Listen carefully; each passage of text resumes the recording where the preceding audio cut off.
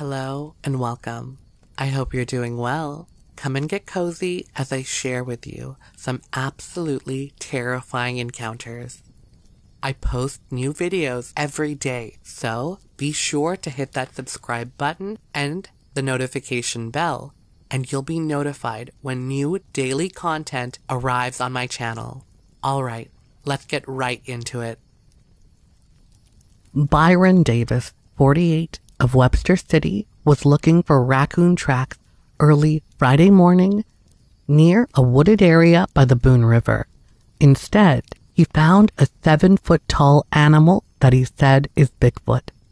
The creature, which had long, thick red hair down its shoulders and weighed about 450 pounds, was just lying there, asleep, Davis said.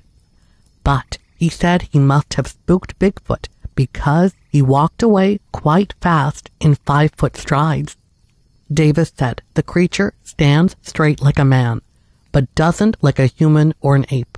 He shined a flashlight on the departing creature, but was only able to see his backside. He said he was able to get within 18 feet of the animal. After the creature departed into the brush, Davis contacted authorities, who checked the area but found nothing. Meanwhile, Davis has volunteered to take a lie detector test to prove the validity of his claim. There's no joke about this, he said. I suppose a lot of people don't believe and are laughing. I could care less. He said he was too dumbfounded to be scared once he spotted the animal. If he had been walking towards me, you bet I would have been scared, he added. Davis is determined, once he gets free time, to search for the animal. He suspects the animal could be staying in the ravines near the river, which he said is a pretty wild area. He's planning to buy a good camera to take pictures as positive proof that Bigfoot does exist. Then he hopes to sell the photographs. On to the next one. In January, near Edgewood in Clayton and Delaware counties in Iowa, Team Bushaw and a friend saw an eight foot tall Bigfoot with a top knot on its head and covered with long hair. The creature was only six feet from their car. On to the next one. Larry Wilson, a farmer, went outside when the dog barked and he saw a hunched over dark thing in the yard. Police found long footprints in the grass. This was in Dallas County in Iowa. On to the next one.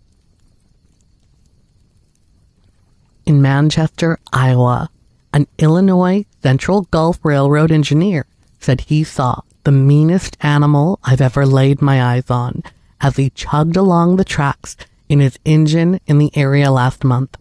Cyril O'Brien, 62, said, I've been traveling these tracks for 38 years now, and I've never seen anything like that. It was the second time Bigfoot-like animal tracks or animals have been spotted in this area in recent weeks. On January 21st, two farmers reported strange tracks in the snow as they surveyed their farmland for areas to plant trees. Delaware County Sheriff Bert Edgel was called and he took photos of the tracks. He showed the photos to Conservation Officer Jim Becker, who said he couldn't identify them. The tracks have been lost in new snowfall, but Edgel is having the photos enlarged so Becker can get a better look. The tracks apparently made by a creature that walks on two legs, measured nine and a half inches long and four and a half inches wide. Edgell, a hunter for many years, said he had never seen tracks like that before, and because they were found in an isolated area, he is curious and suspicious. Engineer O'Brien of Waterloo said he saw the animal at a distance of less than 100 feet. He said as the train approached, the animal looked up and moved backward. It was big, much bigger than a dog, and at first I thought that it might be a calf, O'Brien said. It was a heck of a mean looking thing with long yellowish hair, a flat face, and short ears. It had no tail. O'Brien said that he noticed the carcass of what appeared to be a cow where the animal had been standing and believed it was feeding on the carcass. O'Brien said the animal walked on four legs. He said he radioed three other trainmen in the caboose and they also saw it and agreed it was indeed a strange creature. Edgell declined to link the tracks and the yellowish creature. The tracks and sighting were about six miles apart, but he said there appears to be a strange animal in Delaware County and he's concerned that someone might get hurt. Bigfoot is a legendary hairy creature in the northwest United States that walks upright. Some people believe it exists and can provide a link between animals and humans. Sightings of strange hairy creatures have been reported in western Iowa for more than a year. On to the next one. Bigfoot rears his hairy head in Iowa again. Many sightings reported in Delaware County. Delaware County Sheriff Bert Edgel never stays far these days without the tranquilizer gun he keeps in his office. That's because Edgel has become the latest in a growing list of Iowa sheriffs who believe that there just might be something to all the talk about Bigfoot. Edgel isn't the kind of man who courts publicity quiet and practical. He prefers to keep a low profile and even shuns the efforts of those who want to photograph him. But developments in Delaware County during the past two months have brought the press to his door. Since January 15th, other Delaware residents, solid, practical men like the sheriff himself, have come to Edgell with tales of a strange looking creature roaming the countryside. On his desk, the sheriff has a file that has grown thick with the testimony of what they've seen. There's been too many sightings, Edgell said last week. These people have got to be seeing something. From the descriptions provided by witnesses, Edgell's nephew, Tommy Edgell, 15, of Edgewood, a budding young artist, drew a sketch of the creature. The sheriff said two witnesses who said they got a close look at the creature say the drawing which resembles the legendary Bigfoot, is a true likeness. Rural residents who live near here are curious and puzzled about the sighting. One farmer, who asked that his name not be used, said farm folks are asking themselves, could there really be a creature like that in these parts? Deputy Dick Snyder said that, though puzzled by the sightings, country people are taking the situation in stride and he knows of no one who is arming for protection. If there is a strange creature in these parts, there's evidence it's been here for some time. Edgell turned up a witness who says he saw a frightening sight just north of Manchester. That sighting in September was reported by Jerry Ewing, who at the time was a service manager for Manchester Auto Dealer. Ewing now makes his home in Colorado said in a phone interview last week that on the day of the sighting, he had driven his pickup truck into the country. I intended to spend my noon lunch period hunting squirrels. I drove out about five miles north of town and pulled into a clearing. I got out of the pickup and in a field about a hundred yards away, I saw a strange man-like animal walking alone. It was about a foot taller than a normal man and was covered with hair and was big, real big, going at about 400 pounds. I'm a hunter and I've seen lots of wild animals, but I've never seen anything like that before. I couldn't believe my eyes. On to the next one. Sometime during 1924, two ladies saw a seven foot tall man like creature covered in light colored hair in their ranch garden busily pulling up turnips. The creature also carried some corn during the sighting near Flagstaff in Coconino County in Arizona. On to the next one.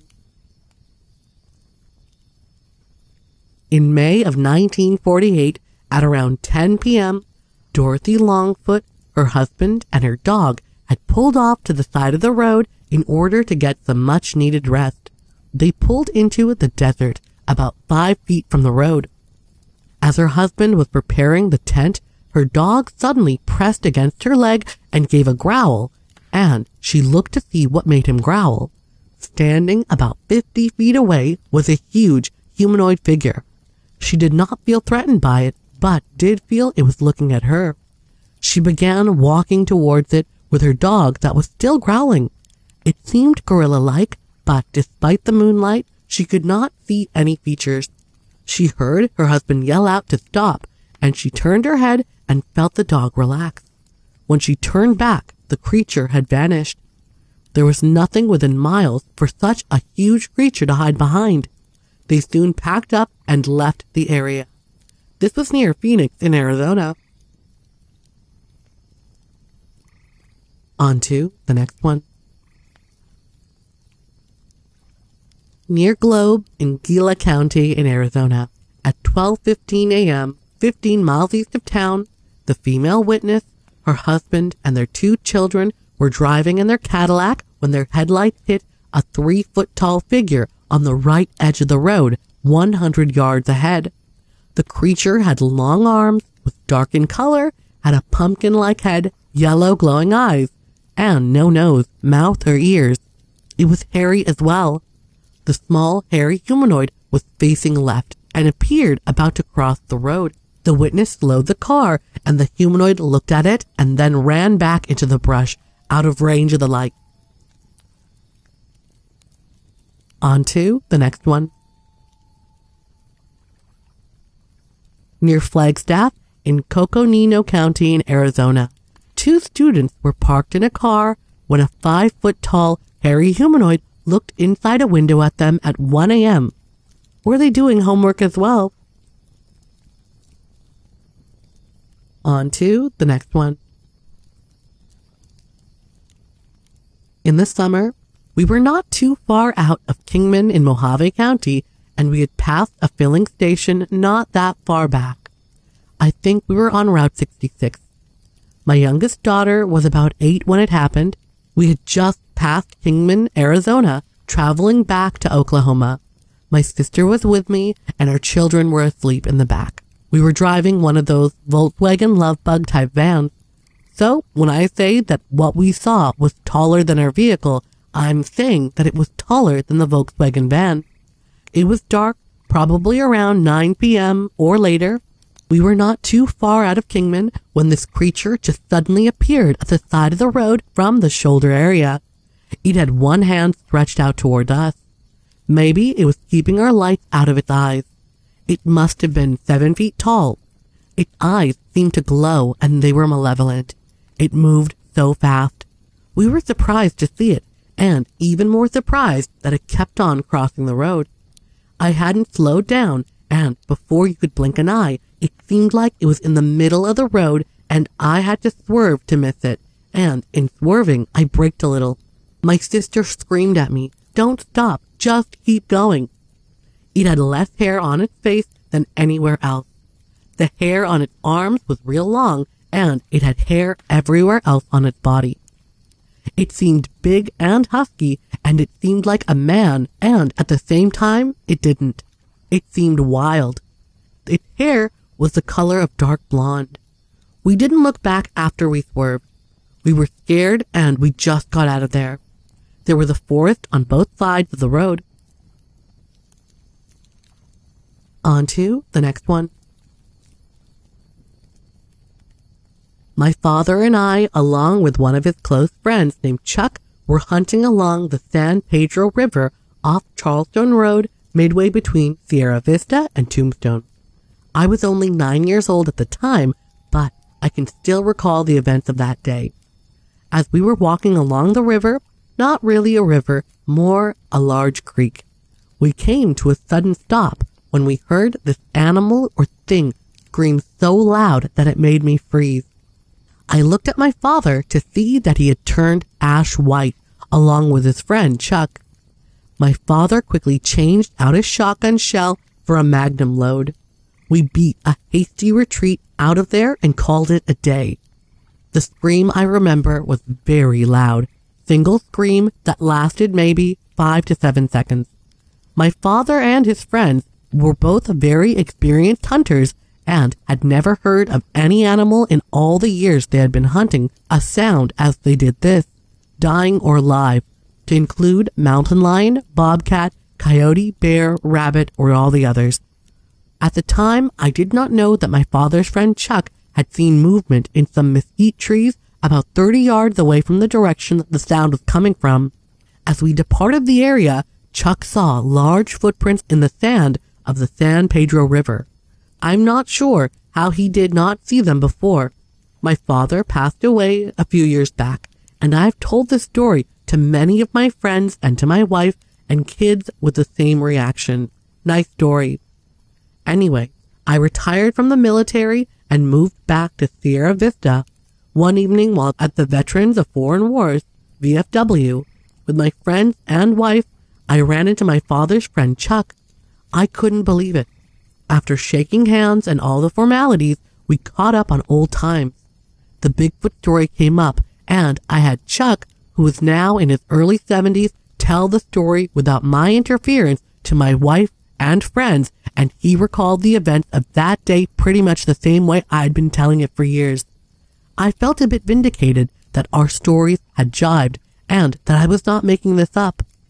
I really don't know what it was all those years ago, but I remember the very sound scream this thing made. Hearing the scream together with the footprint in the sand, I suppose equates to a Bigfoot event. I'm not sure, but I know what I heard. On to the next one. In Cass County, Missouri. This wasn't experienced by me. It was experienced by my father.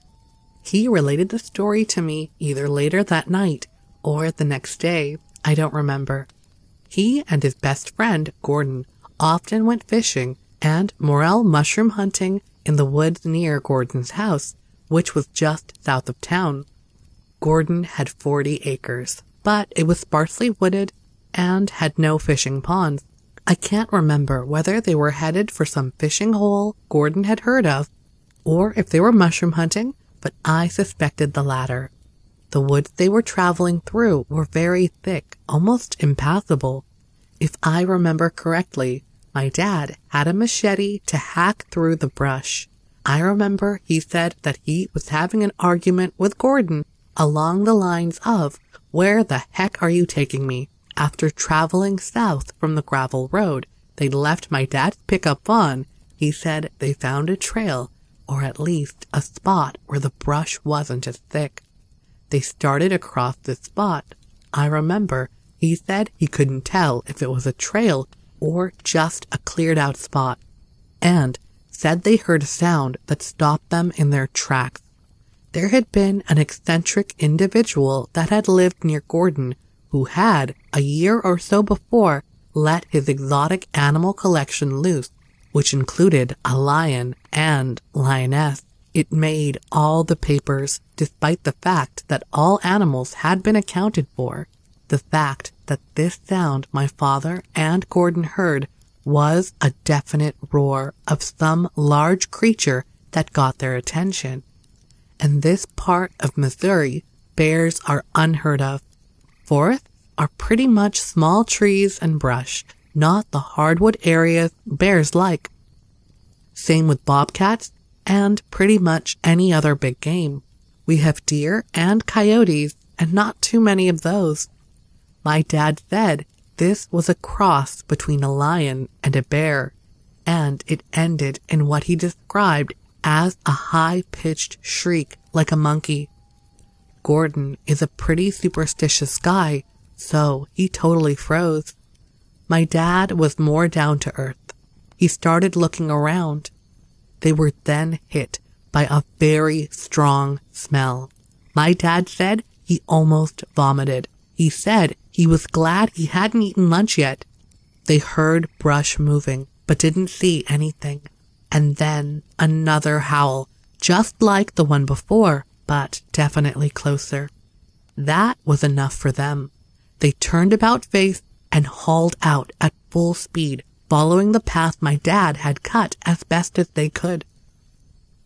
My dad had some nicks and cuts to back up this part of the tale of plunging through the bush. Brambles on his clothing and such. They emerged almost a half a mile from where they entered. That is how fast they were running.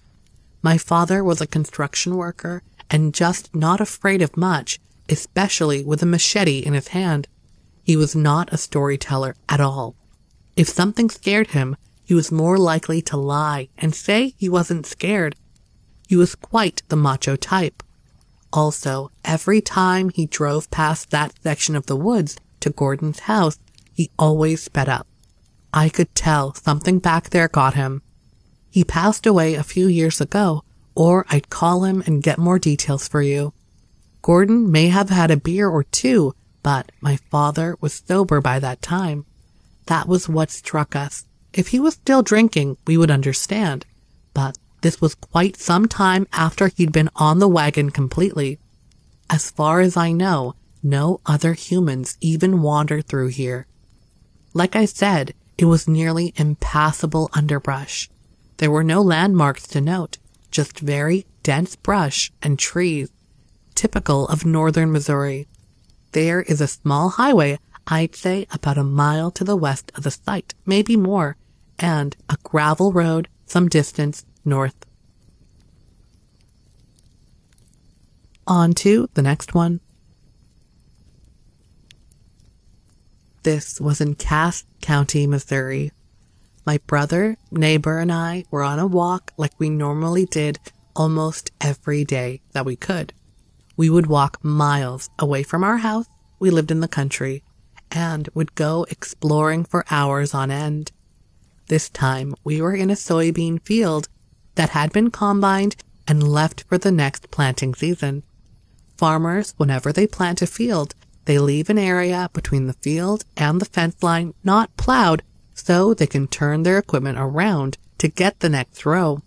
In this area, we saw something had walked in the grass next to the field that had large steps, but didn't think anything of it till we came across a small washout that had brought dirt out of the field into the area of grass into the path of the creature that had walked in the grass. There we saw the largest footprint I had ever seen in my life. We looked around for more tracks. We could make out besides the one, but we lost the rest in the woods because it was starting to get dark. The print was long, but not extremely wide. Like the stupid kids we were, we did not get a cast of the print and did not go back that way for a long time. But after that incident, we were creeped out about going out into the woods without a weapon with us still to this day. It was about 5:15 p.m., just starting to get dark. The sun was starting to go down. It was very remote field that was only visited around harvest time and possibly during deer season. The field was up higher than the grass area and the field tapered down toward the area where the print was found. The other side of the grass area was fenced, and beyond that, very thick woods, with eight miles of creek tributary running through it. A very hilly area in the woods. The area behind the field was wooded, with the numerous Indian mounds in the woods. In front of the field was gravel road where access was. The print area was not seen from the road. The opposite side of the field where the print was was a fenced tree line with open cattle pasture beyond a fenced tree line, with Eight Mile Creek running through it. Not in the same area. Stories around Truman Lake area in Henry County near Clinton, Missouri. When I was in high school, an unknown creature smashed a truck hood and carb. After being hit on a back road late at night and just walked away from it like it was not hurt. On to the next one. Near Oxley in Ripley County in Missouri. My mother and I were on our way home from church. As we drove down T Highway, we observed a large creature standing in the center of the road. I stopped the car several feet away and it turned and looked at us and then in one big jump went from the middle of the road over a fence and loped across the field. I hit the gas and got us home and we ran into the house, locking the door behind us and making sure the windows were locked as well. We were both frightened for months, but never saw it again. This thing was very tall and stood quite upright. It had matted brown fur and a face similar to a man's, not a bear's. It occurred around 9.30 at night. It was very clear out, and if I remember correctly, it was not a full moon, but close. The area is mostly field and wood. In this particular area, it was a field. On to the next one. Near Marceline in Sheridan County in Missouri. It was a bright, sunny summer day. My 14 year old daughter and I were on our way to pick up my 16 year old daughter. I was watching the road ahead and saw a figure cross the road from one tree line on the west side of the double Z to the east side tree line. We were about 800 feet away. I asked my daughter to look and tell me what she saw. She said Bigfoot or something like it. It looked about seven feet tall and 300 pounds. It had a long lope as it cleared the road in seconds, and by the time we were where it had been, there was no sign of it. Not that I stayed long. It looked like it had long hair.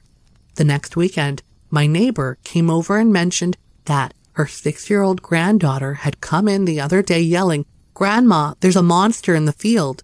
She just brushed it off, and I never told her what we saw. It was 4 p.m. and sunny in Farm Field. On to the next one. Near Gainesville in Ozark County in Missouri. I was just a kid when I saw it. I was sitting in the back of an old Chevy at the time. It was pretty new. My uncle was driving and my aunt was in the passenger seat and my little cousin, who was around four or five at the time, was sitting in the back with me.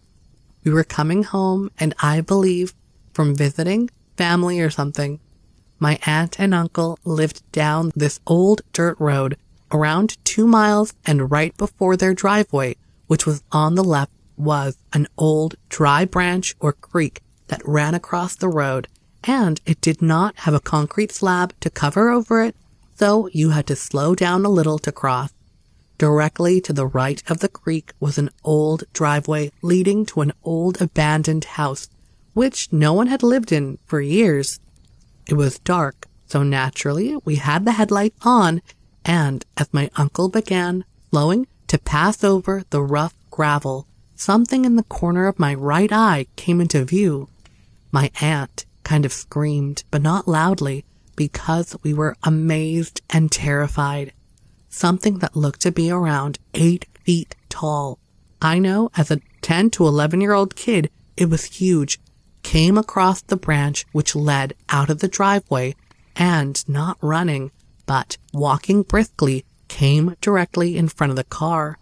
We all just stared as if it was some dream. It was swinging its arms a little and acted like we were not even there. It walked across the creek and crossed the water gate. I don't remember if it went under or over, but what I do remember is the branch had washed out the bank of my uncle's yard, and his perimeter fence was quite tall.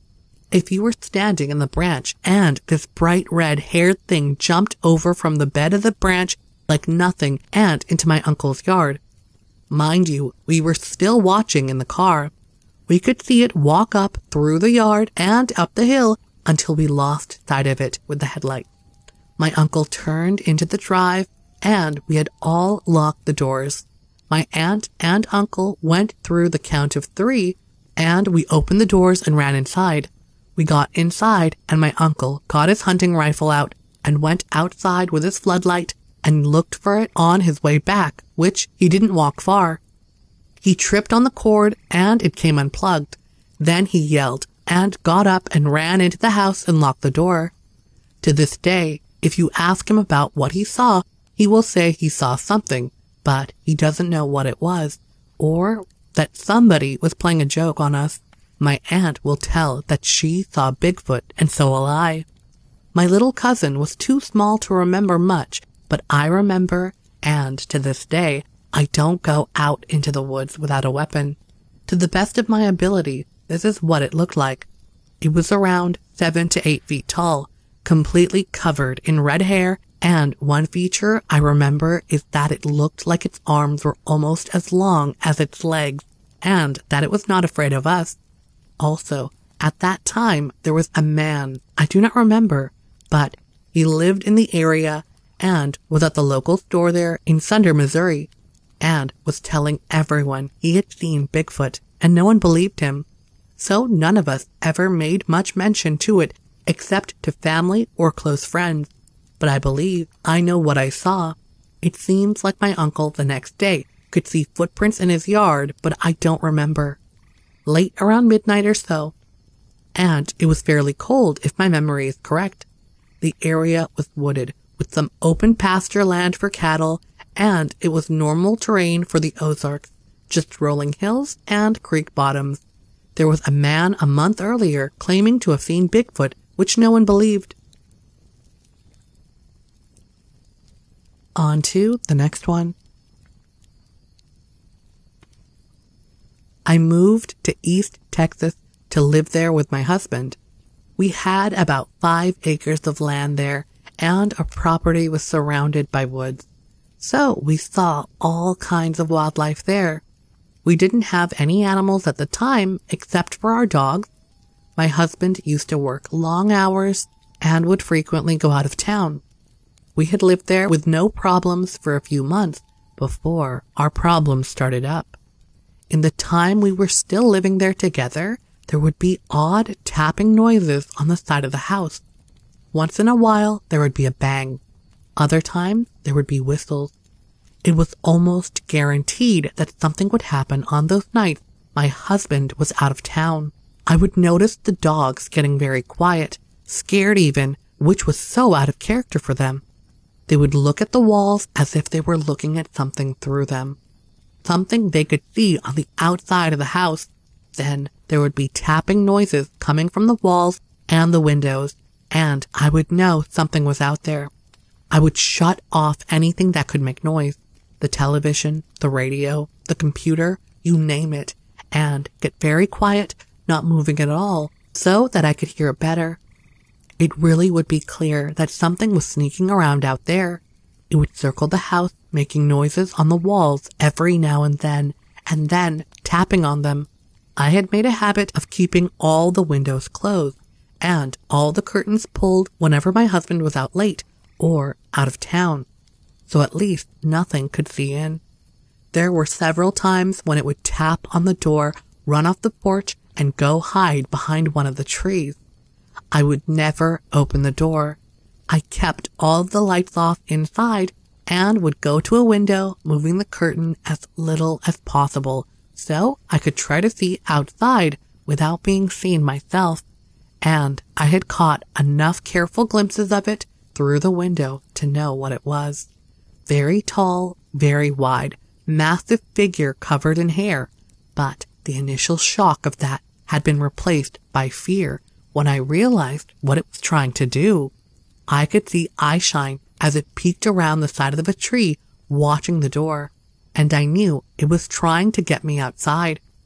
Whenever this happened, the dogs would be very quiet and scared and would either stay near me or go to try to hide somewhere in the house. They wouldn't bark or make any kind of noise at all. They were such energetic and brave dogs, full of life, though this was not like them in the least. After it waited long enough, it would come back and try again, tapping on the door, then sneaking off to hide behind a tree or circle around the house, tapping and banging on it here and there.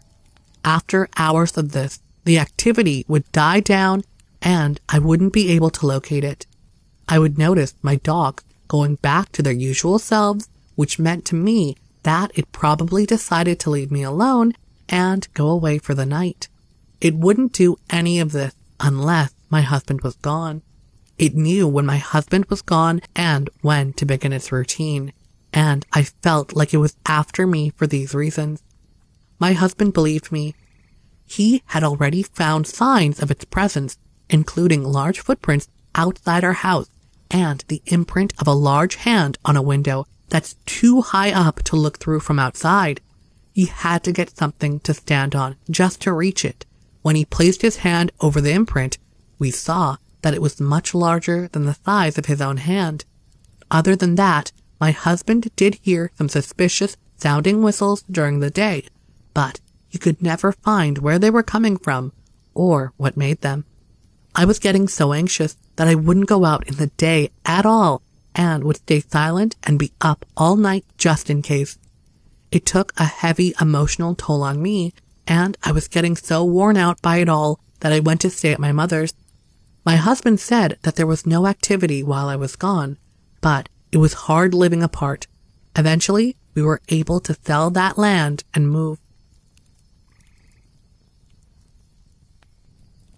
On to the next one.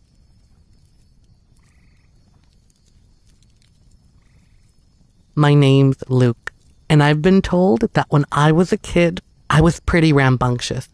But let me tell you, 10 years in the Yellowstone National Park as a winter keeper pretty much beat all of that out of me. Winter keepers are the people who keep the buildings in the park from being crushed by snow. More on that in a minute. When I worked there, I would work my tail off all winter then it would take a whole summer of fishing at my parents' place to get enough energy to go do it again the following winter. What a life. Winters in Yellowstone and summers fishing the Madison River near Ennis, Montana. It doesn't get much better than that. I was 28 when I quit the winter keeper job as it got too hard for me, mostly mentally, as the isolation was brutal.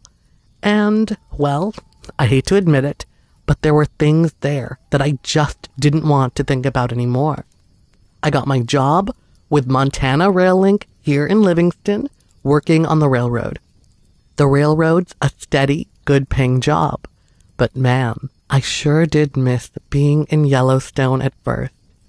I would look south towards the park from the rail yard and wish I was down there. But I guess not bad enough to go back and I'll get a good retirement from MRL, which I never would have with seasonal work. So I guess I'm glad I quit winter keeping.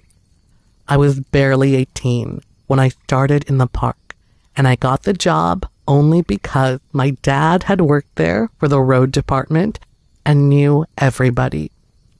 I'm pretty sure he thought it would help me keep out of trouble, and believe me, it did. Cause there's no trouble you can get into out there in the winter. Well, you can get into trouble, but it's the kind of trouble that's likely to kill you.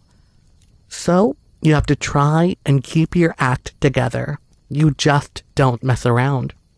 For example, I accidentally locked myself out of my cabin and nearly froze to death. My first winter there it was minus 22 degrees.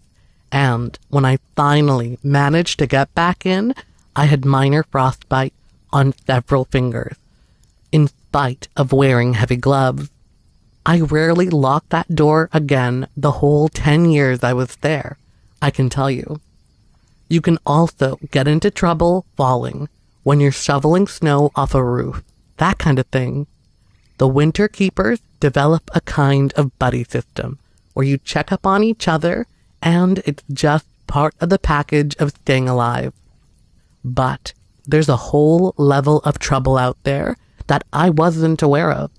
And there's only one person I know of who was aware of it. And nobody believed him, even though he was a highly respected ranger in the backcountry. He told me about it when I first started the job, and even though I was inclined to believe him, Anytime I'd ask others about it, they would just laugh. But Ranger Jackson had seen the biggest trouble you can imagine out there in the Thorofare. the wildest part of the park, and he wasn't one to play jokes on anyone. He's been retired now for some time, and I never got the chance to tell him about what I saw, and that I now truly believe him. Because I've seen that same trouble myself. But I can tell you this I definitely believe Ranger Jackson without a doubt. I don't know if he retired because of what he saw, but I don't think he did. He was a tough guy, legendary actually, for running poachers out of the park, and he wouldn't have let anything run him off. I myself didn't leave that year I saw it, though I should have. But I did leave two years later when I thought again. I hardly even had time to pack my stuff that time. I was in such a hurry. And actually, I think that was one of the few times I did lock the door of that cabin. But before we get into all that, you may ask, what's a winter keeper? Winter keepers in Yellowstone are people who clear the roofs of buildings there.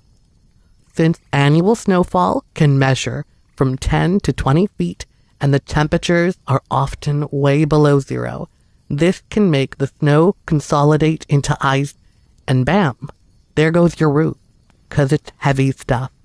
The snow there is dry and fluffy and just falls apart when you try to make a snowball. But once it hardens, you can cut it into blocks.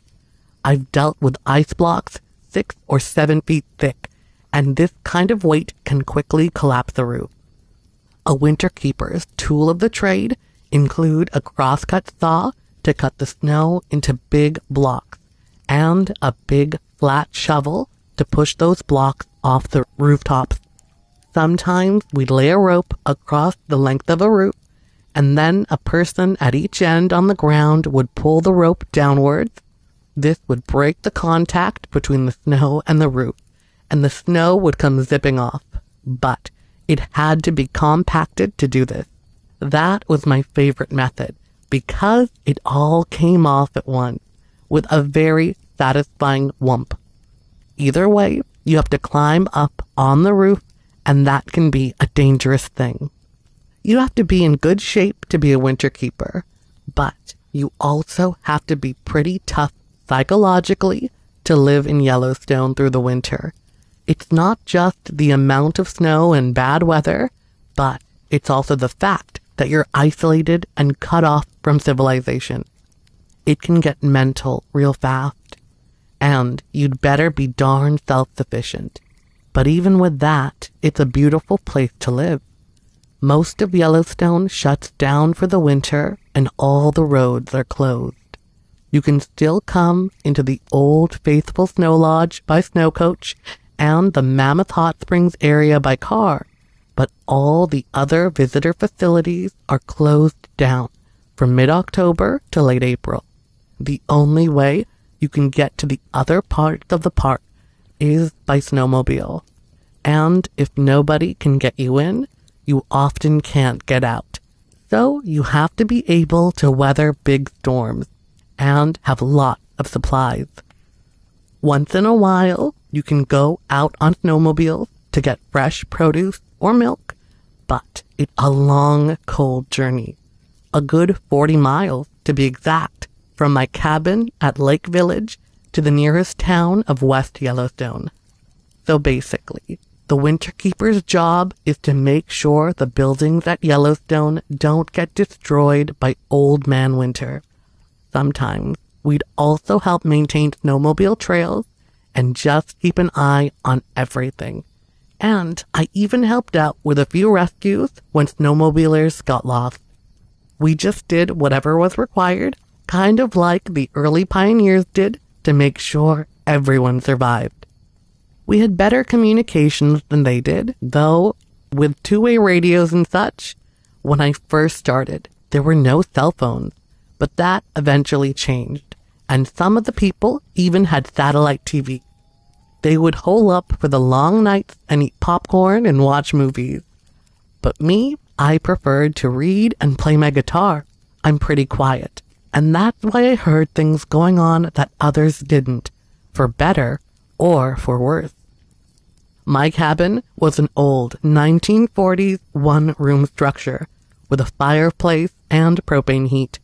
It was pretty sturdy, but I had to get up on the roof and clean it off periodically, just like with the other buildings. I haven't been back to that park for a long time, but last time I was there, that old cabin was still standing. And you know, the scratch marks along the window are still there, though I doubt if anyone but me gives them any mind. If anyone ever notices, they probably think the bear did it. But nope, it wasn't a bear. If you look closely, you can see they're not claw marks, but more like marks from flat nails, not even sharp ones. And going back there, even though it was years later, it still gave me the creeps, seeing it again. I now have no desire to go back again as beautiful as the park is. My cabin was by Lake Yellowstone, and one of the buildings I helped keep clear was Lake Hotel. It's a big building and one of the park's most iconic structures. The area called Lake Village has a bunch of cabins we had to clear, and it took several of us to keep it all up to snuff. I can't remember how many people worked there, as it seemed to vary from year to year, but I do remember a guy named Jimmy who became my best buddy while I was there. Jimmy was, from all places, Hilo, Hawaii, and his favorite greeting was, What the heck am I doing here? He would sometimes substitute the word heck with various cuss words of different severity, some in what I took to be Hawaiian, and it was a good way to tell what kind of mood he was in that particular day. He came the same season I did, and none of us expected him to return the following fall, but there he was. I don't know how many seasons he worked there, but he was still at it when I left. Jimmy soon became known as Heck, and that nickname stuck with him from there afterward. He lived in a cabin a few down from mine, and we were about the same age so we naturally ended up hanging around some together in the evenings when we weren't too tired. The cabins between us were uninhabited, being summer cabins. Sometimes we worked together, sometimes not, depending on what needed doing. But we always checked up on each other in the evenings. You just bang on the other's door and yell out, yo. If the person yelled back, you'd know all was good and go on home. Well, I'll never forget this night, and I've wondered for years if it didn't have something to do with what happened not too long afterward, It had been snowing for a week, and we had plenty of work to do. The weather was really getting to us in the cabin fever department. And yes, we had cabin fever even though we were outside all day because of the gray skies and endless melancholic feeling this particular storm brought with it. Some storms break up right away and you get blue skies. But this one just went on and on, each day as dark and depressing as the previous one. Heck and I both discussed it might be a good time to head over to West Yellowstone for supplies, even though we were okay, but we nixed the idea based on the whiteout conditions. It would just be too risky. Besides, we needed to stick around and keep the roofs cleared. Even one day off would get us behind schedule with all the new snow coming down. So we decided instead to have a party. We invited all the other winter keepers, three or four guys, if I recall, and Heck made a big batch of chili and I made popcorn in the big pot on top of my wood stove and took it over to his cabin. We decided on having it at his place as it was a little bigger than mine. Heck always had a big stash of whiskey, and he was the kind of guy who liked to share. So our party got a little wild, which wasn't that unusual. Winter keepers basically answer to nobody but themselves, which is why most of them liked the job.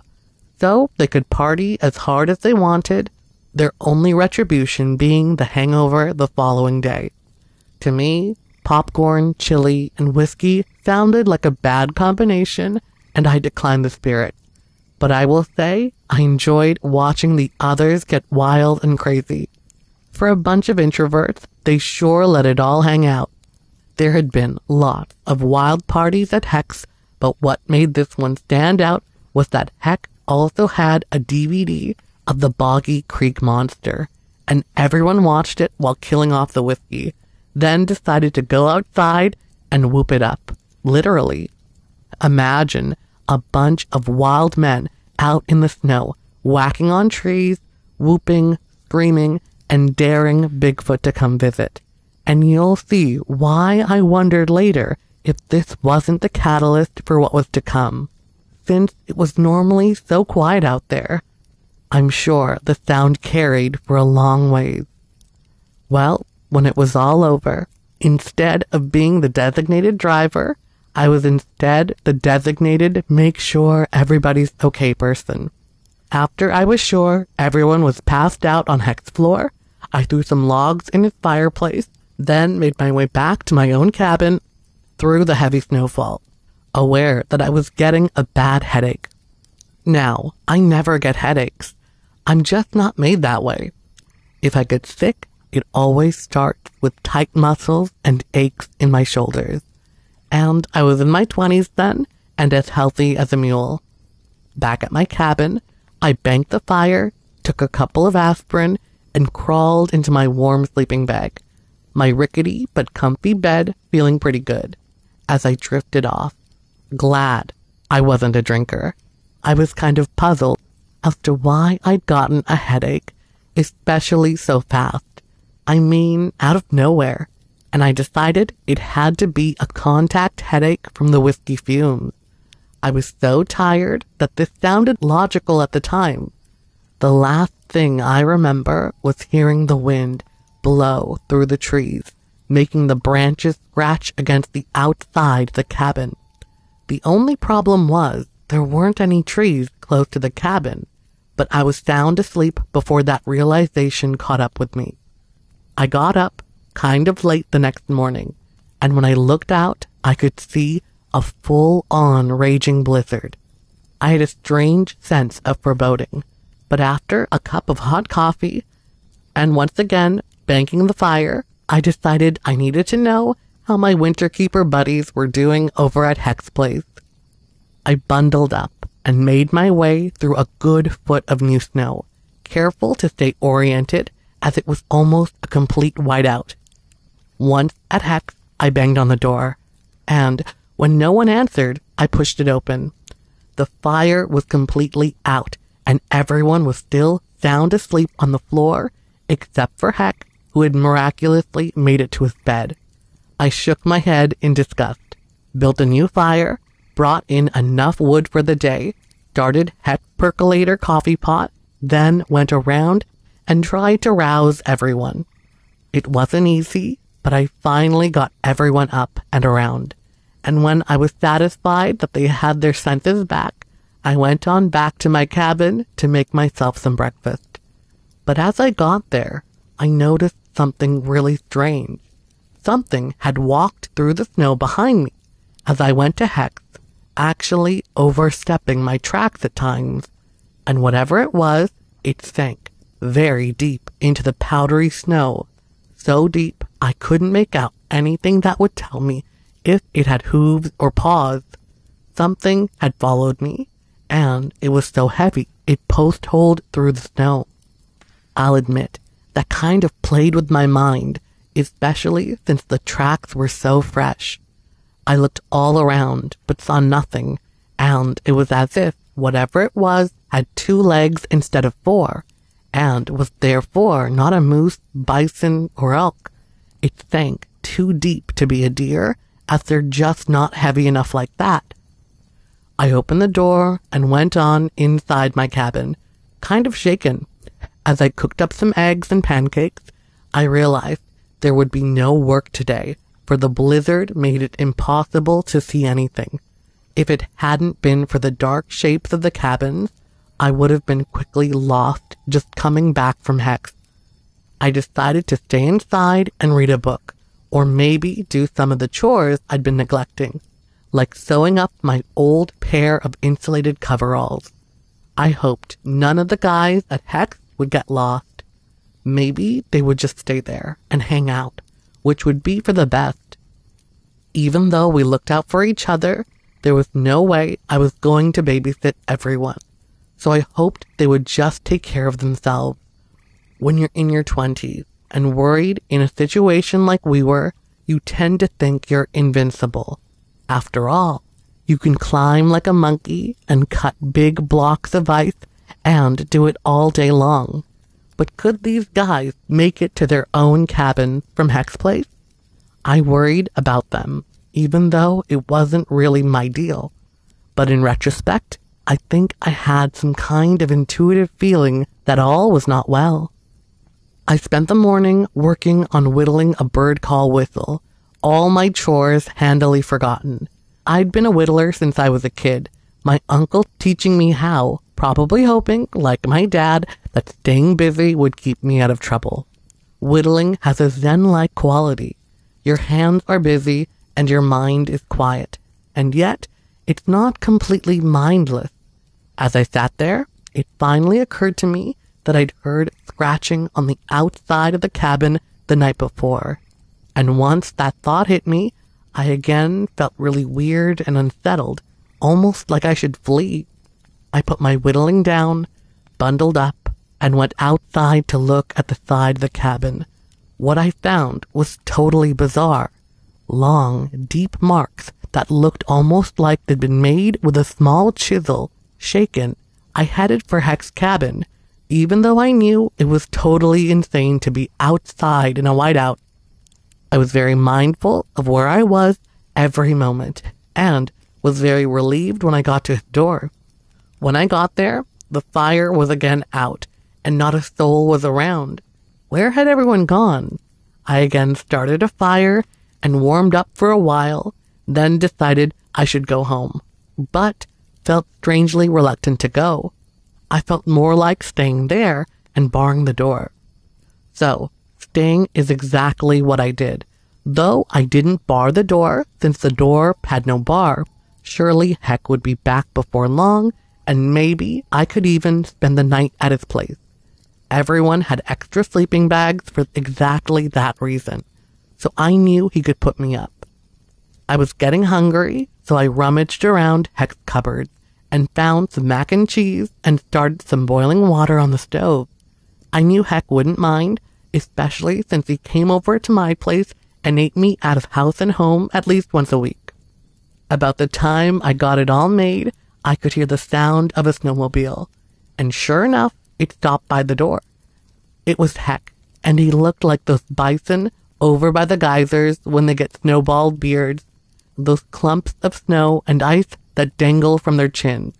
Heck barely had the machine turned off before he was inside trailing ice and snow behind him and pulling off his face mask and heavy gloves. He looked surprised to see me. I came over to fix you lunch and warm the place up, I lied. What are you doing out on a day like this? Geez, bro, he replied.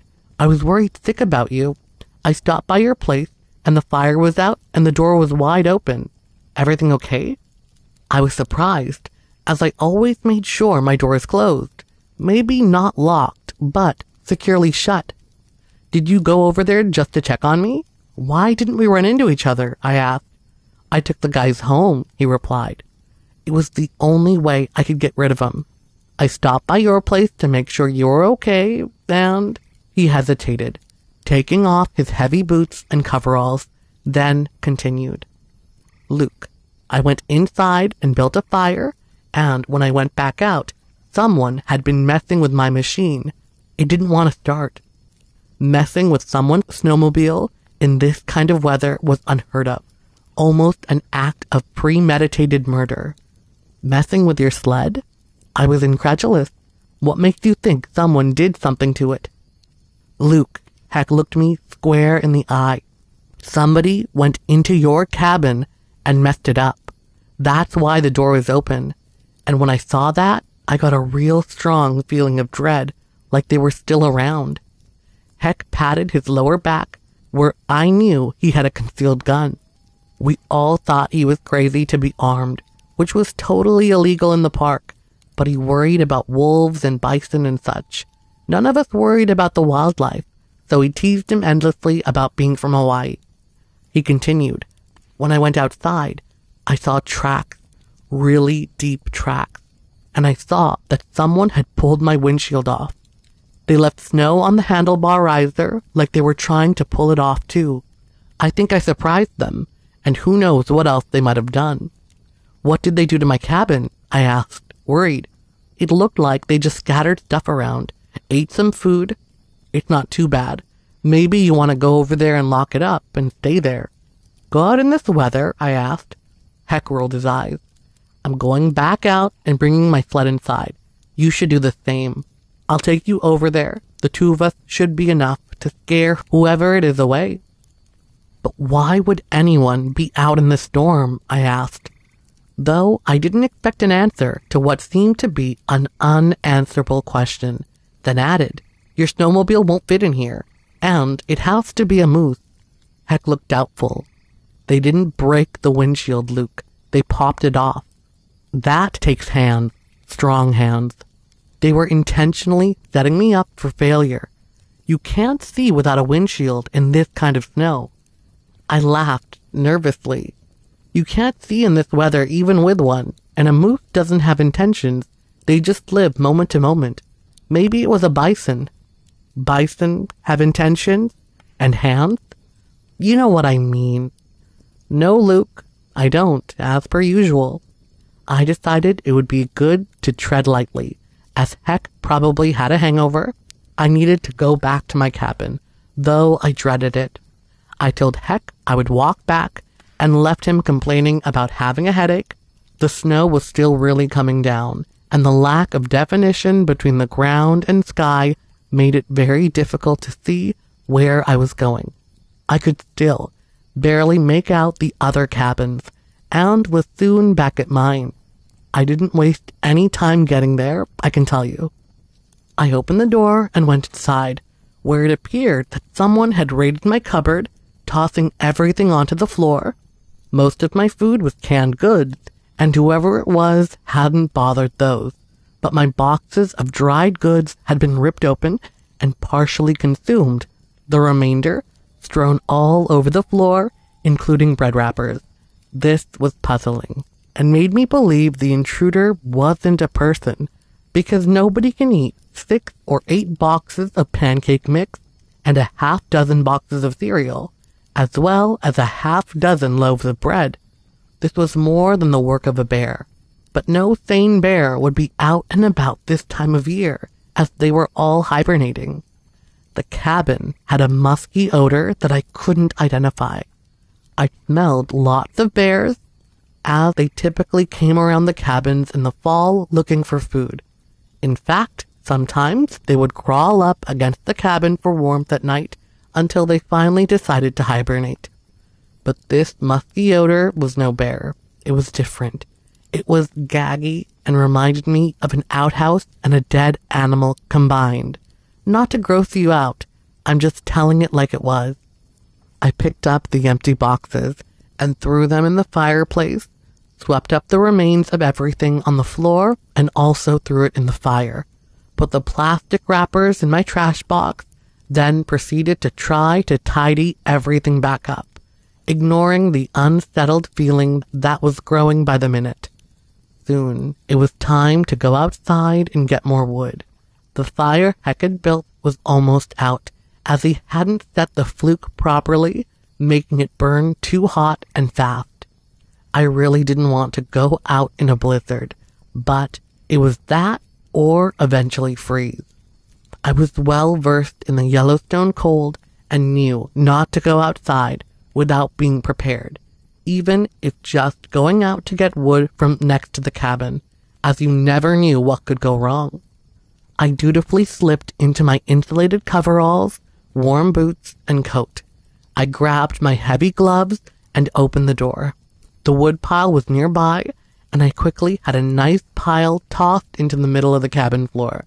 The wind was howling, and by the time I was done, several inches of snow had blown inside. As I was sweeping it back out, I thought I could hear something over the wind. I paused and listened. It sounded like the combination of someone tearing paper and sneezing. I recognized this as the call of the great gray owl, sometimes called the ghost of the forest for its elusiveness. One of the largest owls in the area with a wingspan of five feet. I'd heard this call many times and it always made me wonder how it made such a strange sound. I remember thinking it had to be on the roof of the cabin for me to hear it above the wind, which I found odd, as usually birds hunker down in the shelter of trees in storms and don't sit around on roofs practicing their bird calls.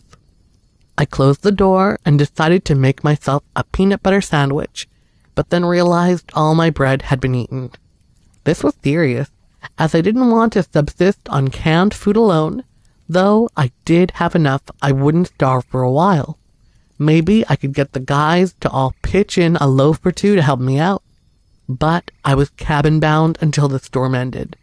We were sure going to have a lot of cleaning up to do, and then, maybe, after that, if the weather held, I'd go on out to West Yellowstone and get more fresh food. I could use a break anyway.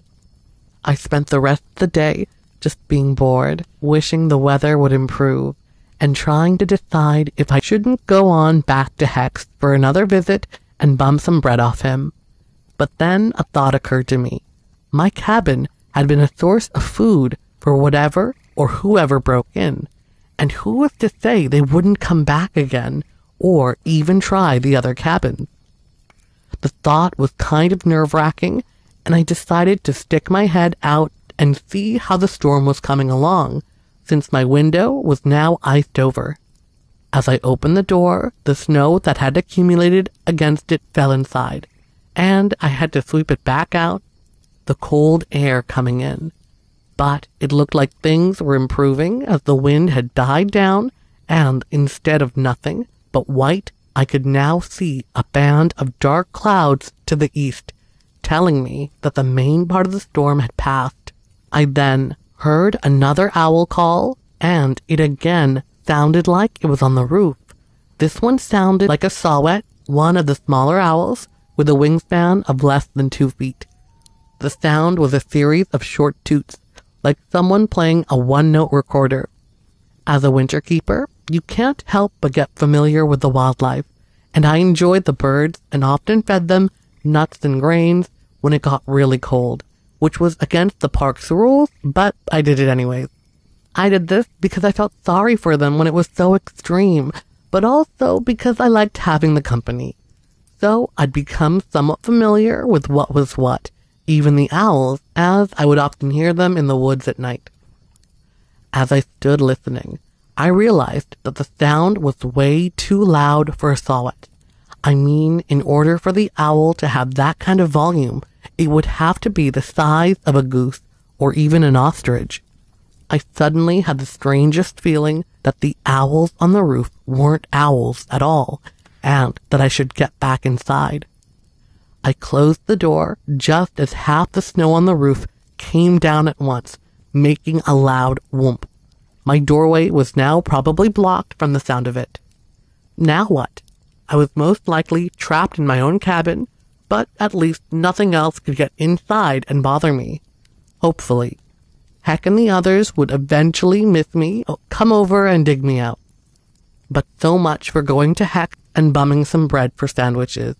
I knew if worst came to worst, I could crawl out the window, assuming it wasn't frozen shut. But it wasn't something I wanted to do. And, of course, since I couldn't have a sandwich, it started sounding better and better until a sandwich became the height of gourmet delicacy and almost worth dying for. I wanted one so bad I felt like moaning until I realized something outside actually was moaning. My first thought was that it was Heck or one of the guys messing around, but a repeat performance convinced me it was too loud, and all of a sudden, all my denial was gone. I flashed back on the classic scene in Boggy Creek Monster, where the monster breaks the bathroom window, and I can tell you, I was much more scared than that guy had been. I was utterly terrified, for I knew without any doubt that what I was hearing was the same thing.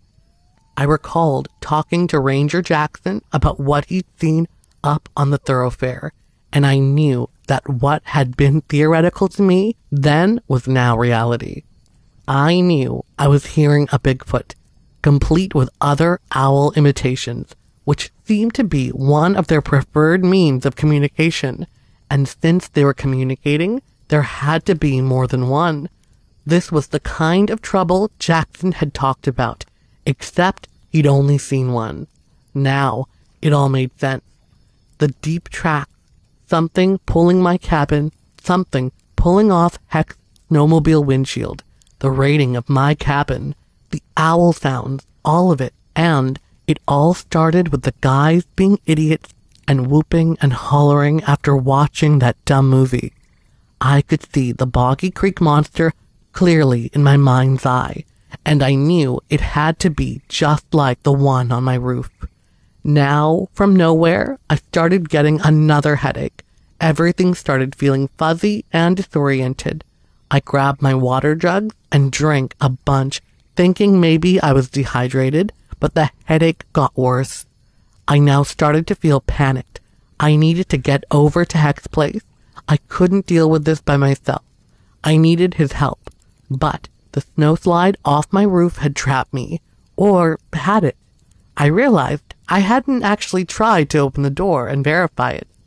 Since the door opened inwards, I was able to slowly pull it open a crack and look out. The snow was about three feet deep, and I was sure I could dig my way out. I listened for a while, but heard nothing.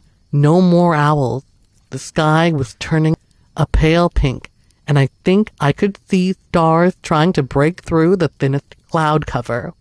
If I wanted to get going, I needed to make a break for it now, not later. I kept a shovel inside for this very purpose, and after I'd bundled up, it didn't take long to dig a path through the snow. Even though it was wetter and heavier than normal, I was wary, looking all around and up and down while doing this totally panicked and scared to death. And even though I hadn't seen the Bigfoot, I could picture it in my mind as if I had only maybe even bigger and uglier than I imagined. It became the ugliest, most menacing thing imaginable with each shovel of snow. As you've probably guessed by now, I have a good imagination, but I really prefer to be imagining things like gourmet sandwiches Going back inside, I stoked the fire, then stuck some candy bars in my coat pockets along with a water bottle, flipping my headlamp onto my forehead.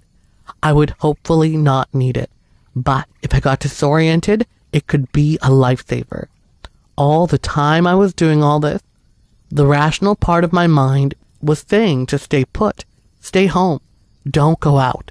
First, if there really are Bigfoot around, you'll be more vulnerable. And second, with the skies clearing, it was going to be bitter cold. Not a good night to be out.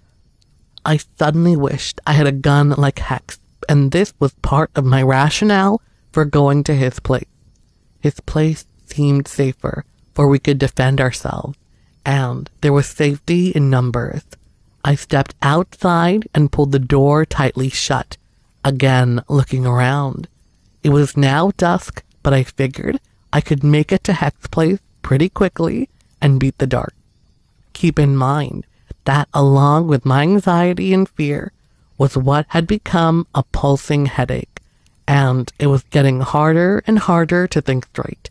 But I knew the way well and was soon making a beeline for his cabin. I'm not sure what happened after that, but I vaguely remember something following me, making short whooping sounds with a kind of raspy voice. I doubled back into the trees, trying to ditch it. It didn't seem particularly menacing, more like it was following me for its own entertainment. So I finally came back out and started wandering through the forest, amazed at how beautiful it was with all this new snow, totally forgetting where I was going. The next thing I knew, I was on the back of Heck's snowmobile, and he was berating me for being such an idiot and saying that if it hadn't been for my headlamp, he would have never seen me. He took me back to his cabin and we tried to sort out what had happened. Apparently, he went to my place to check on me and found my tracks. The sun was setting and the tracks were going the opposite direction of his cabin.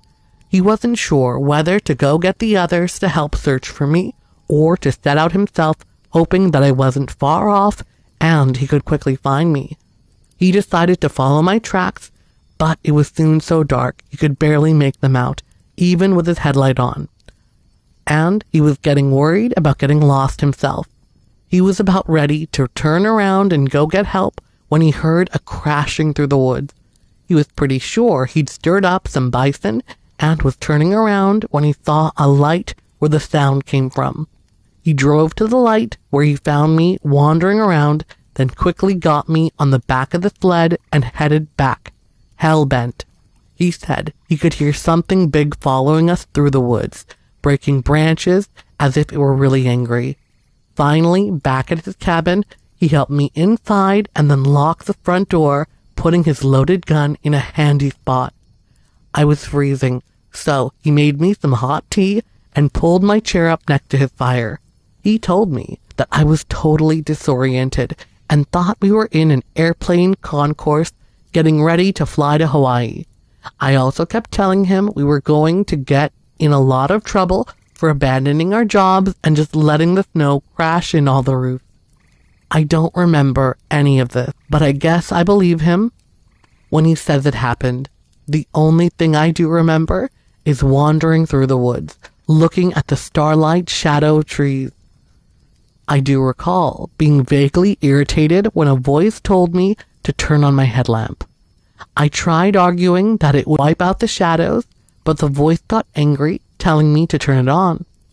If you're not familiar with starlight shadows, in Yellowstone, the winter snow is so smooth and the sky so dark that it's possible to see shadows created by starlight. The shadows are faint and it takes your eyes a while to get acclimated to the dark, but they're actually really magical. I asked Heck if he told me to turn on my light and he looked puzzled. Why would I tell you to turn on your light if I'd already found you? I agreed it made no sense but I distinctly remember someone telling me to do just that.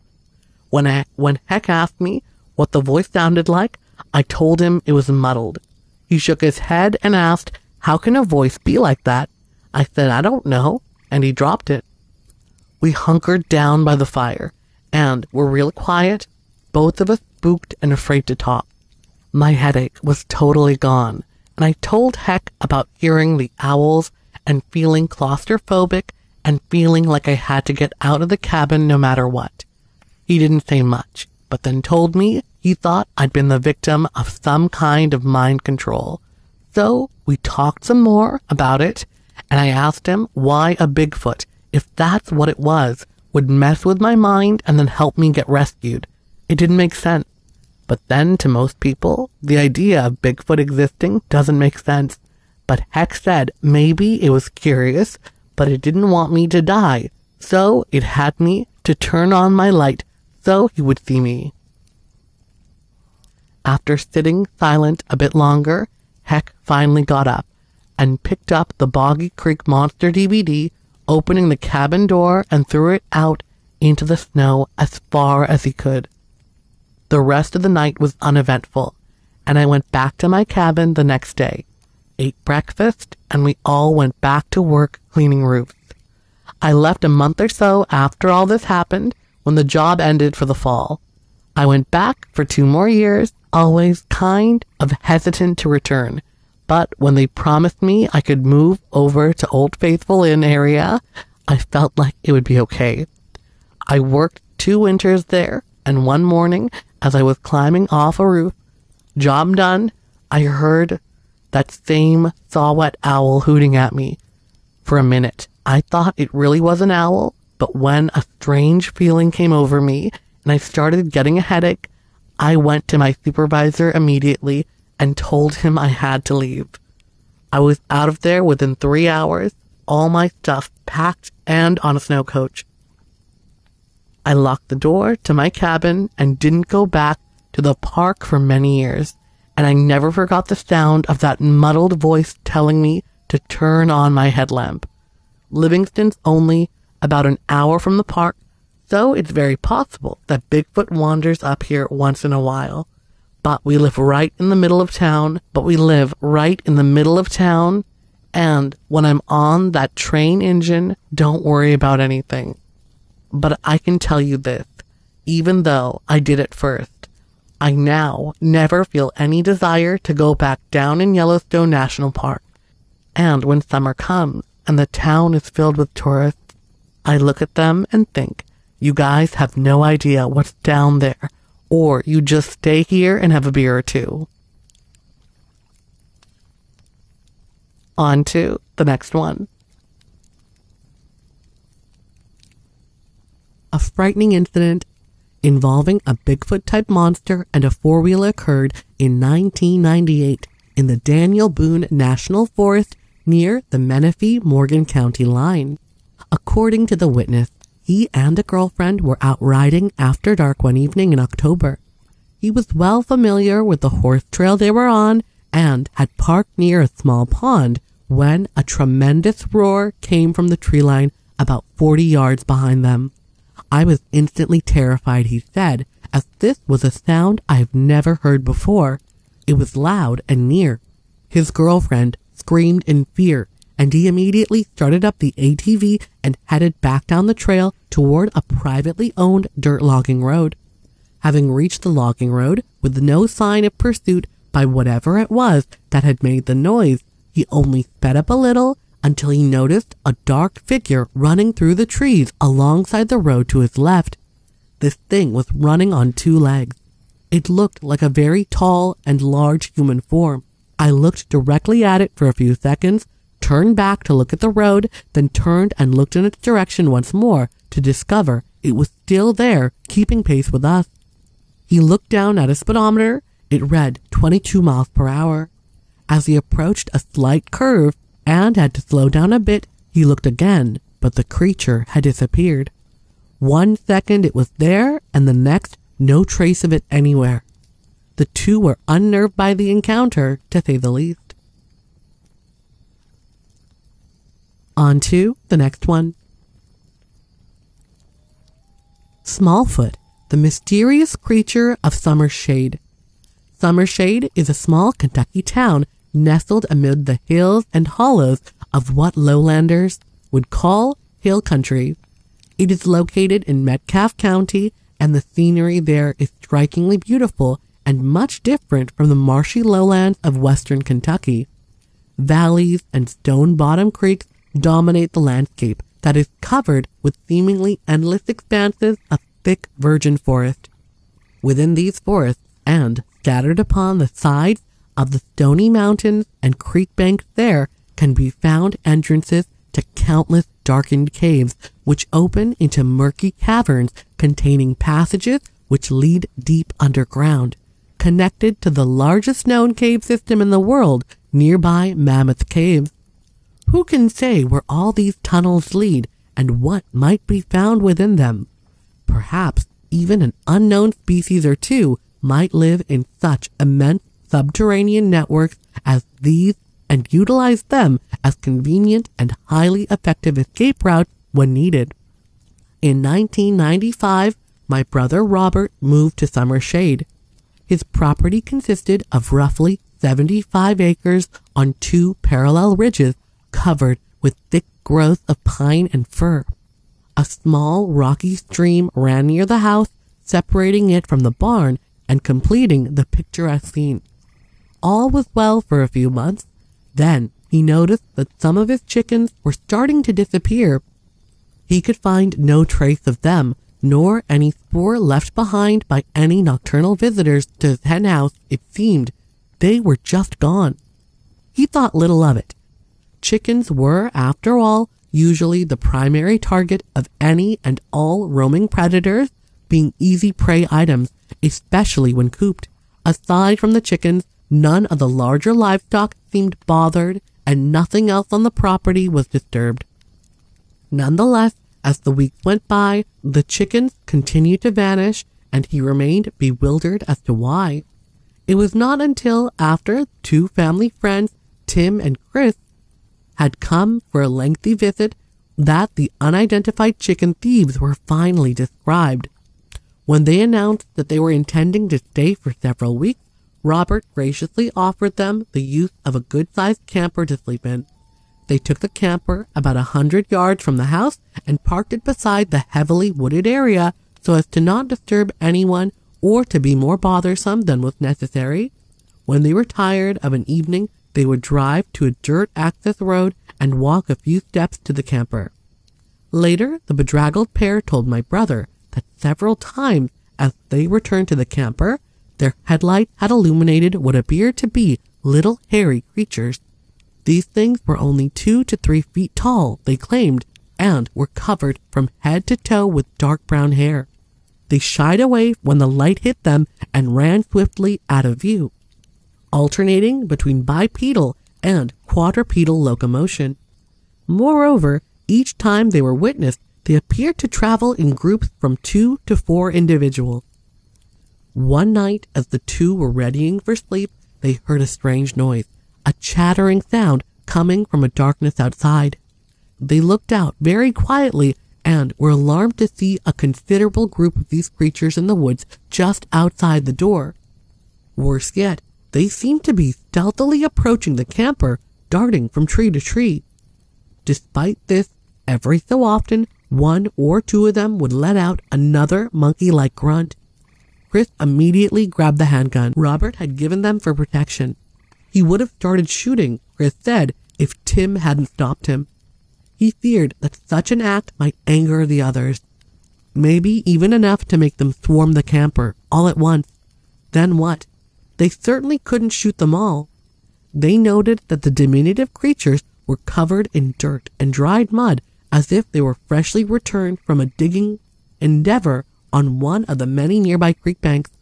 They were relieved when they finally decided to step outside with their flashlights, and again, the creatures made a swift retreat from the lights. But, even so, neither could sleep a wink after the episode. They hadn't wanted to say anything about it at first, but now things were getting serious. The adults of the household could tell that both of the boys were telling the truth and did not disbelieve their story. They had absolutely no reason to make up such a tale. Besides, Robert himself had seen a somewhat similar creature up close and in broad daylight. Surely, if this was indeed what they were dealing with now, the three foot variety couldn't be all that scary, especially not with such an array of firearms available. Nearly the entire family were avid hunters. How much trouble could they be? He completely failed to take into account the overwhelming advantages that even smaller animals may afford themselves by traveling in groups. But he would become rudely awakened to this fact one evening not long after. As it happened, one night Robert and the two boys, now accompanied by Chris's father James, found themselves outside after dark trying to locate one of the horses that had escaped the fence. All four were armed with handguns of varying calibers. It was best not to take any unwarranted chances, especially in karst country. No telling what could be hiding in the cave. The two adults carried powerful flashlights in addition to their weapons. As they searched a forested area near where the camper had sat, the group became aware that they were not alone in the woods. They could see small, dark figures moving swiftly and noiselessly through the trees around them. The two boys pointed wildly at the things in silent vindication. The men shined their light to and fro and drew their weapons. The boys followed suit. Whenever one of the light beams hit one of the beings, it would immediately shrink back into the night and out of sight, running at first on its hind legs before dropping down to all fours, then rising once again. They exhibited no eye shine, they noted, and these too appeared to be covered in mud. Ro- Robert also related how when standing, the creature's front legs looked somewhat longer than the back ones. The worst of it, he later told me, apart from seeing the weird little boogers in the first place, was that they were intent on advancing toward the group of witnesses. ma- maneuvering their way on all sides in an apparent attempt to surround them. Only this time, the creatures were operating in complete silence. What these things had in mind as an end result, fortunately, was never discovered, for when one of these things became bold enough to approach within a few inches of James, the alarmed quartet opted for a hasty departure from the area. James later told me that one of the creatures had rushed in from behind him and ran straight up up into a tree without slowing down at all. The force of the movement was such that he could feel the wind on his neck. They all considered themselves lucky that they had somehow managed to make it back to the safety of the house without firing a single shot. I subsequently interviewed each of the witnesses and they all agreed on every detail and each strongly attested to the fact that they weren't particularly interested in going outside after sundown because of it. By the time I was able to make it to the site, things had quieted down, it seemed. In the ensuing months, Robert informed me that every single chicken that he owned, not surprisingly, had disappeared. Business and personal reasons kept me from returning to that part of the state for many months. Then in May, another sighting took place. This one by Robert's son DJ and one of his friends, a neighbor from down the road a piece. My mother had recently returned from Yuma, Arizona, and decided to move a trailer onto the property next to Robert's house. She had immediately purchased three dairy cows to put out to graze with the house with the horses. The two youths were busy entertaining themselves in the backyard on the day in question when they noticed that one of the cows had separated from the other two and was running around in the field. On closer inspection, they saw that it was being chased by one of the strange hairy beasts. This one was slightly larger than the other ones previously seen by his father, around four or five feet tall. It also looked quite dirty, they told me, before describing the same curious ambulatory gait as the other witnesses. The only reason the thing didn't catch the cow, both boys claimed, was because it had accidentally ran into an old barbed wire fence and stumbled to the ground. After this, the creature seemed to give up the chase entirely. Moreover, the two claimed to have witnessed a footprint left behind by the thing before a subsequent thunderstorm obliterated any and all traces of evidence which may or may not have existed at the time. They described it as looking like the print of a man. The fact that one of these unknown creatures was evidently confident enough in its own abilities to single-handedly attempt to bring down a full-grown heifer says much about the animal's apparent aggressive natures. Not mentioned, of course, is the fact that a pack of them had already tried to surround the four armed men. The pattern here seems to suggest a mostly nocturnal animal. That they were all covered in dirt or mud in every sighting appears to give credence to the supposition that they must utilize on a regular basis the intricate and extensive cave systems that exist in the area. They would almost certainly be omnivores, taking full advantage of every available food source. Could these mysterious creatures actually live in the area, as described, yet still remains unknown to modern science? The answer is yes.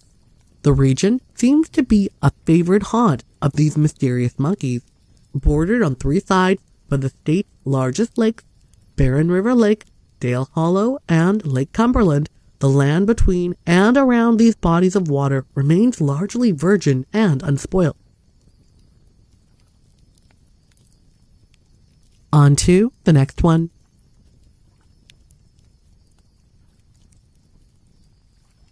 I met Joseph in Durango, Colorado, about 20 years ago. I was in my usual spot in the diner just off East 8th when this guy comes in and sits down at the counter next to me. He was dressed like a farmer, all dusty and sweaty, but his eyes were different. They had a haunted look, the thousand yard stare. I used to see the guys coming back from the jungle over there.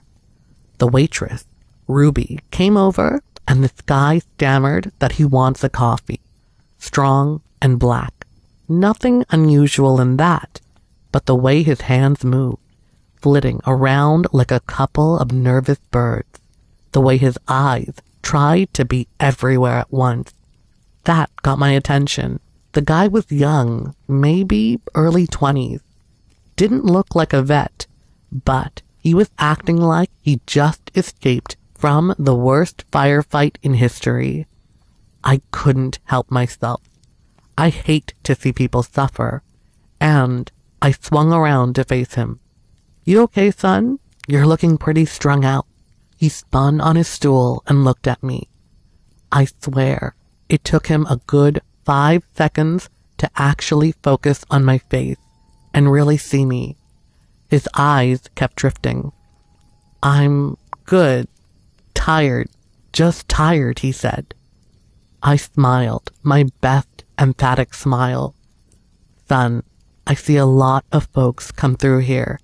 A lot of them tired. You're well beyond tired. What happened? He finally looked me in the eyes you wouldn't believe me. I widened my smile slightly and waved Ruby over for more coffee. Try me. He looked around him like someone was going to jump him. Then he looked back at me. Hell, I gotta tell someone, but I promise you are not going to believe me. This is the story Joseph told me, minus the pauses, the prompting, and most of his more colorful language. So, I work, or I guess I worked on a farm down in New Mexico. I'm not telling you exactly where, but in McKinley County. I had a little house on the edge of the property. I did my work, got paid, then didn't see many other people on most days. It was a good life. Comfortable and with an income that was pretty decent for the area. Most days, after I'd done everything that needed doing, I'd go for a walk in the evening. Out there, on a good night, it's beautiful. You couldn't count all the stars in the sky. The ridge, silhouetted against the starry sky, was beautiful. I loved my evening walks. Just me and the stars you feel like you're the only person in the world and it's all yours. One evening, a couple of nights back, I stepped out for a walk. It was still cool, even though it's June, probably in the mid 40s, but that never worried me. The cool air makes you feel alive. It was still light, and I hadn't gone far up toward the ridge when I spotted a blood trail on the ground. Not much, just a drop here and there. Still, you learn to spot things like that when you live out there. I figured it was a deer, injured by a coyote or something, and followed it. When I lost the light, I lost the trail. There are lots of stars in the sky up there, but following a blood trail at night, even with starlight, is beyond me. I'd come a fair way from the house and started thinking I should probably head back. But I felt restless, like I had to go somewhere, do something. Nothing I could put my finger on, but just a feeling that now was not the time to head back. I didn't have much to do the next day, so I just let the feeling guide me. I kept walking, assuming that at some point I'd get tired. The restless feeling would run out and then I could head home. It must have been around midnight when I hit the road. Now, calling it a road is a bit generous. It's a dirt service road, but it's the best we've got for 30 or 40 miles, so it's the road. I stood there for a minute, idly kicking the stones up the road and staring at the sky. Then I got the creeps. You know that feeling like you know someone's watching you? I felt like there were a pair of eyes burning into my back. You live alone in an area that's got wild animals in it. You learn to trust feelings like that. I turned slowly to look along the road. No wolf or mountain lion was standing there. Just a man. Not many people will be walking around out there at midnight and I recognized this one straight off. The heavy sheepskin vest and the wide brimmed hat all meant it could only be George Sullivan. He worked on the next farm over. It might be a few miles between us, but it was about as close to neighbors as you get in that sort of place. Seeing me looking in its direction, George waved and came over. This was a bit strange. George and I were nodding acquaintances, not really friends. Nothing wrong with George. He liked his own company. Hi, Joe, he said when he got close. You're out late tonight? Yeah, I responded. Felt a bit restless. Needed to stretch my legs, I guess. Me too. It sounded like he was smiling, but it being night and him wearing the wide brimmed hat, I couldn't tell. Felt like I might head up to the ridge. Want to come along? Now, that was just weird. George never usually thought out company like that. It was the middle of the night, and I started to feel that something here just wasn't adding up. I didn't feel restless anymore. I just wanted to get back home. Nah, I said, I think I'll head back. Fair enough. I might as well keep you company to the fence line. That made sense. The fence line would give him a straight turn up to the ridge but it didn't sound like George's usual behavior. There was a little voice somewhere in the back of my head whispering that something was off. I couldn't exactly tell him not to come with me though, so I turned and headed back. George fell in step beside me, and we started back toward my place. That when I gagged. Something somewhere stunk. It was a sweetly putrid smell, the worst thing I've ever smelled in my life. Somehow, it seemed to combine rotting meat, fruit, and rotten eggs, all rolled into one. It brought a tear to my eyes. I turned to George. God, what's that awful smell? He paused and seemed to sniff the air for a second. I guess something died out there. He turned his head to me. Happens now and again. I was going to say more, but something stopped me.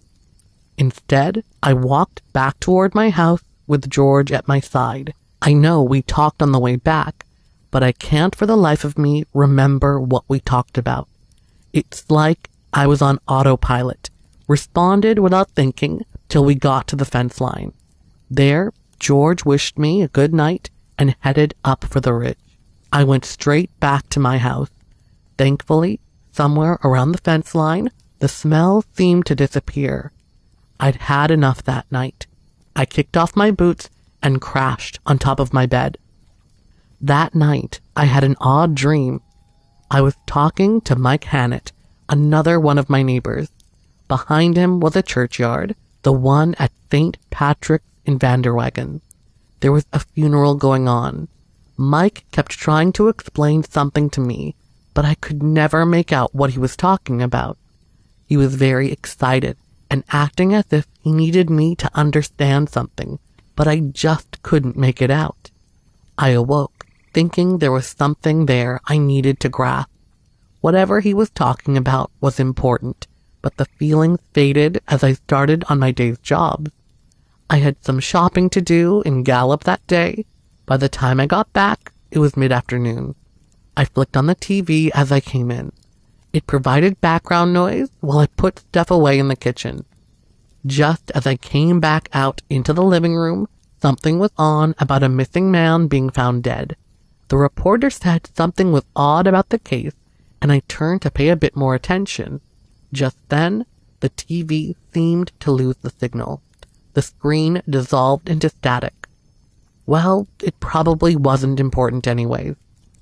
I had an early dinner that night then the restless feeling came over me again. I hadn't planned to go out for a walk that night. George had spooked me the night before, but somehow I couldn't stop myself. Anything I tried to do in the house just seemed like a waste of time. The magazine I'd been reading was meaningless, and the housework I'd planned on seemed like a waste of time. Realizing I couldn't fight it, I pulled on a jacket and headed out. This time, though, and unlike my usual practice, I took along a large flashlight. There's nothing like a good walk to clear your head. As I made my way without thinking toward the dirt road that runs along the base of the ridge, My subconscious was putting the puzzle together. The dream, Mike, the funeral, the blood trail, the missing man, George. George. I'd reached the road without really noticing. There was George, standing there, almost as if waiting for me. Out late again, Joe? This time, I could really hear the smile. How about taking that walk tonight? He stepped toward me, and again, I smelled that awful odor of decay. I took a step back, gagging. I'd been expecting the smell, but it was still overpowering. I'd worked it out. This was not George. Three days ago, Mike had told me about the funeral he'd gone to. George's funeral. I backpedaled a little more down the road. George, or whatever that was, followed. Where are you going, Joe? I brought the flashlight up and switched it on, shining it into the thing's face. It was George's face in a way. The cheeks and the tip of the nose had already started to decay.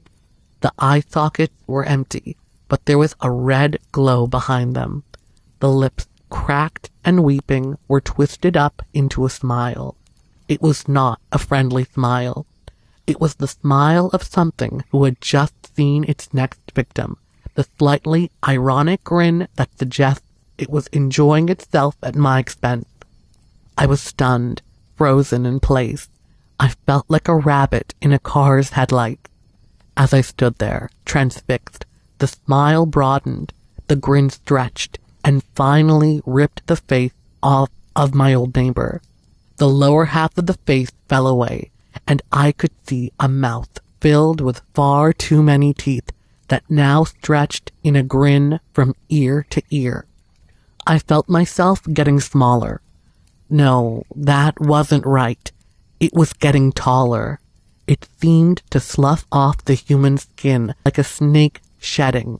As the covering fell away, I saw its legs, gray, spindly, and lengthening. Now it stood a good foot taller than me. Something dragged my screaming mind back to reality. Something clicked in my brain. I turned and ran. I leapt from the road up onto a path into the woods at the base of the ridge. The sanest part of me hoped to lose whatever it was among the trees. My flashlight was dying. I switched it off and shoved it into my jacket pocket. The action distracted me and I stumbled over a root, barely recovering my footing. I glanced back over my shoulder. I hadn't lost it. It was stalking along behind me. It no longer made any attempt to look human. In the dim starlight, I made out a tall gray body. It must have been eight feet tall, but spindly and thin. It was almost a giant walking skeleton, covered in gray skin. It was all out of proportion, though. Its legs were ridiculously long. Its arms ended in curved talons somewhere near its knees. I didn't stare long enough to make out the face, but I saw two glowing red spots where the eyes should be, and a black maw for a mouth. I'd seen enough. I'd put on another burst of speed, adrenaline giving my legs strength I didn't know they had. I risked a quick glance back and noticed the thing was barely jogging. It was toying with me. It could catch me any time it wanted to. There was no chance I could outrun this thing. I had no hope. I reached an especially dense part of the woods. I was out of the thing's sight for a few seconds. There was a slight chance, if I could move quickly, I grabbed a branch and hauled myself up into a tree, climbing as quickly as I could until I would be above its eye level. I had barely stopped climbing when it came around the trees below me. I kept my hand over my mouth, trying to calm my panting, desperate to make no noise. It halted. Its head swung around on its spindly neck as it checked out the area. It seemed confused to have lost me. Then it wailed. I've never heard any sound like that before. Its scream sounded like a crying baby who've been badly hurt, but mixed into that was a more profound, angrier noise. I can't describe it any better than that. I also can't explain how it was able to make that scream for what seemed like a minute without taking a breath. The noise was enough to cover any I might make, though. While it screamed below me, I unscrewed the flashlight as quietly as I was able and slid a battery out. When it stopped screaming, I hurled the battery as far as I could into the wood. The battery struck a tree. The thing's head snapped to that direction and then it was off, racing through the woods faster than I thought possible. As soon as it left, I climbed down the tree as quickly as I could and started running down the trail back to the road. I reached the road and stood for a second, panting. Then the sound reached my ears. It was a sound I'd heard before. There are deer up in the forest along the ridge. Now they were coming my way. I tried to get out of the way and just managed as they broke from the wood cover. It looked like the whole herd rushing out of the trees and along the road. They ignored me, their eyes rolling with fear. Too late, I realized what they were running from. The gray figure bounded out of the woods, standing there not five feet from me. This was it then. One of its taloned arms flashed down. It smacked into one of the deer, sending it sprawling. Before the deer could right itself, the gray creature twisted its body, its mouth gripping the deer's neck. There was a crunch of bone, a splash of blood, and the deer stopped moving. I backed slowly off the road. I didn't know if it was the dust the deer raised, the distraction of the deer themselves, or the fact it was already eating. Whatever the reason, I was able to slip away. I crept back into the field, and when I felt safe enough, I ran. I got back to my house and piled everything I could into my truck. Then I left. I've been driving ever since. This is the first time I've stopped. I'm going to have coffee, some food, then I'm leaving. I'm going north, as far as I can. There is no way I'm staying anywhere near here. That was Joseph's story. Despite what he said, I believed him. I'd heard enough of skinwalkers before. He was a fortunate young man to have escaped this one. I gave him some advice, including the address of a Navajo friend he might like to talk to before he left town. I doubted he would, though. He seemed determined not to stop south of the Canadian border. Once I finished my coffee, I left the diner and started driving south. He may not have told me exactly where all this happened, but he'd given me enough clues. In the middle of the afternoon, I turned up a country service road that ran along the base of a wooded ridge. As I came around a corner, I startled a small herd of deer. They scattered, diving for the trees, all except one. It stood there, watching me drive past. I swear it smiled.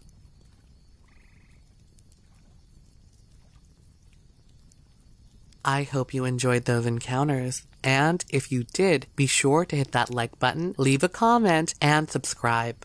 I post new content every single day, so be sure to hit that notification bell and you'll be notified exactly when that new content arrives on my channel. Again, thank you so much. And until next time, bye!